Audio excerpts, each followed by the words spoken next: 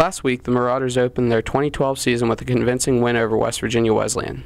Head coach Greg Colby said the team had a good week of preparation for this week's opponent, the Mercyhurst Lakers. It's been a good week overall. Um, you know, guys were obviously in a good mood after the game uh, when we came back Sunday, and uh, you know they've been practicing hard. Although you know it's been a little bit of a disrupted week. We had a little bit of rain on Tuesday and lost half our practice, so we had to try to make that up yesterday on Thursday when we really want to try to taper a little bit. So that's a little bit of a concern. But overall, it was a good week. Uh, guys worked hard, and I think uh, they came away from the, that last week's game knowing that uh, you know it was a good game, but we got to move on to the next one.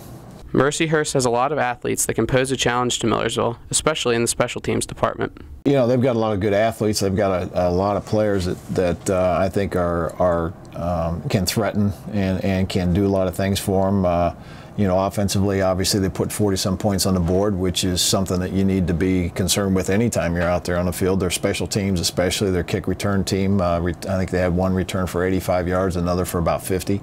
Uh, they're averaging 50 some yards a return after that game, which obviously, you know, we've got to corral that. We can't give them that kind of field position. So, uh, you know, I they're an explosive team that uh, has had success in the past, and I know they're going to be a lot better this week than they were last week.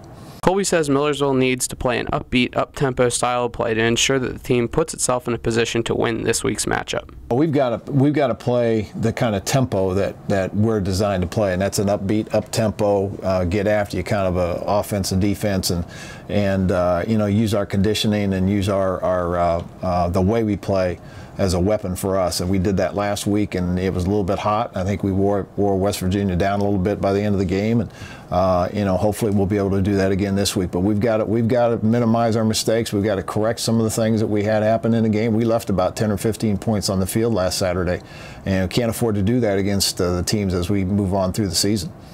The Marauder rushing game will be key this week, not only to the success of the offense, but also to the success of the defense, where Colby says the rushing attack will help to keep a powerful Mercyhurst offense off the field to me, it's going to be critical because uh, you know we we've got to be able to do uh, both run and pass the ball, but especially if we can control the ball running, it's going to open up the pass game. It's going to open up everything that we do offensively. But at the same time, maybe even more important, it's going to keep our defense off the field and keep their offense off the field. And obviously, their offense is, has some potent uh, ability. So if we can keep them off the field, that's that's going to be that much better all the way around for us.